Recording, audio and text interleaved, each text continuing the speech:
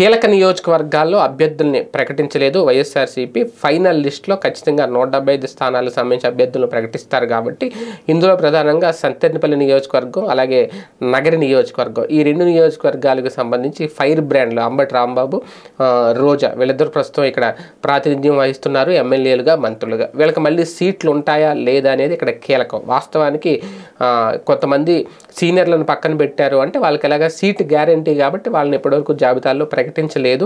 మార్పులు చేర్పులు మా చేసే వాళ్ళ నియోజకవర్గాలు అభ్యర్థులు మాత్రమే ప్రకటించారు అనేది. మరి ఫిక్స్డ్ అయిపోయిన వాళ్ళు ముందే ప్రకటించేస్తే వాళ్ళ ప్రచారం వాళ్ళు చేసుకుంటారు కదా. కా పైగా ఇక్కడ నగర నియోజకవర్గంలో రోజా గెలుపుకు సహకరించవని చెప్పి వైసీపీ నుంచే కొంత వర్గం చీలికగా ఏర్పడి లేఖలు రాసిన పరిస్థితి.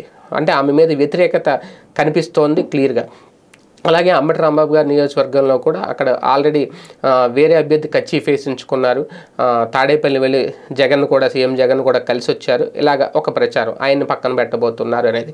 కాకపోతే క్లారిటీ అయితే ఇంకా రాలేదు కానీ వీళ్ళిద్దరిని తప్పించే ఆలోచన జగన్మోహన్ రెడ్డి గారు చేస్తారా లేదా అనేది కీలకం.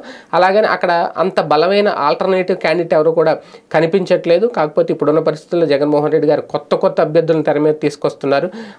తన ఫ్యాన్ సింబల్తో తన ఫోటోతో ఖచ్చితంగా గెలుస్తారు అనే ధీమా వ్యక్తం చేస్తున్న నేపథ్యంలో సీనియర్లను పక్కన పెడతారా? రేపు ఫైనలిస్ట్ తర్వాత తేలిపోద్ది.